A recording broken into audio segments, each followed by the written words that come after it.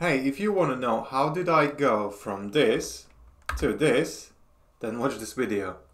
So the thing is that I had DS718 Plus with um, things like Plex installed, Moments, Synology Drive, Surveillance, and the thing was that the utilization of hard drive was like all the time max, as you can see on the first slide, the volume and disk. So it was thinking like, okay, probably Surveillance is just keep on recording on those two disks, and there's not much I can really do.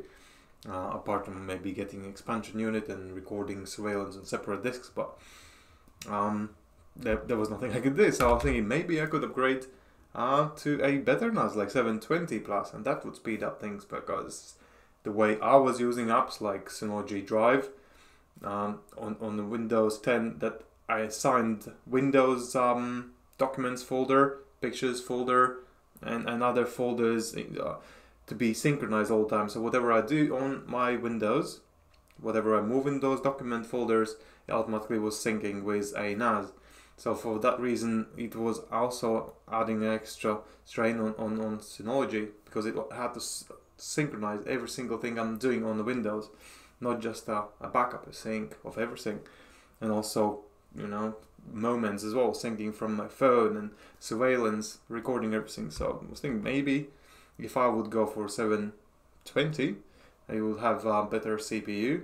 Uh, there is um, also uh, some caching slots and just in case if, if CPU is not going to speed up things and, and there's also DDR4 which is faster memory I was thinking maybe give it a try so what I did I migrated from 718 to 720 and uh, effects what we got was not much disks and volumes were still really high 95 100% utilization it was no improvement at all so that's why I bought 720 to get uh, cache working as well. So I got some cheap Kioxia um, SSDs and NVMEs into a 720. At the bottom of it, you can put domain similar to 420.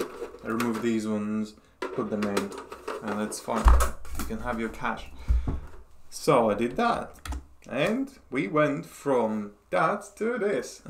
Utilization is around 4%, 30% depending on the, on the situation, and um, uh, the discs, the strain on discs is really uh, brought down because what's happening now that everything what is written to a NAS, it's written to a cache first, not drives. So drives are just waiting there to receive those operations later on. And read as well, if you read something, it um, it checks repetitious data. Whatever is um, repeatedly accessed from the NAS, it's been moved and copied, not moved, copied to the cache. So it's going to be served next time from the cache instead of hard drives.